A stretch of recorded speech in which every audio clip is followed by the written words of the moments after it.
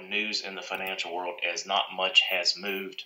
Um, we've got a lot to talk about outside of a reset. Uh, the massive flight of capital to the EU from the US as people prepare for the possibility of Biden as business braces for it and goes ahead and moves money.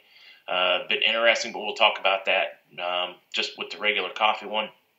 We don't have any movement, guys. Money didn't move in Asia, didn't move in the Middle East, uh, did not move in Europe or the U.S. overnight.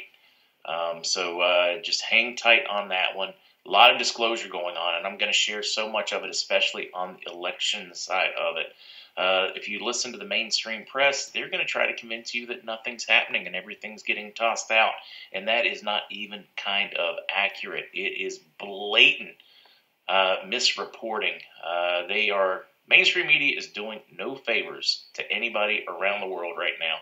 But uh, buckle up, Buttercup. We will cover it and talk about it. Let's get to it.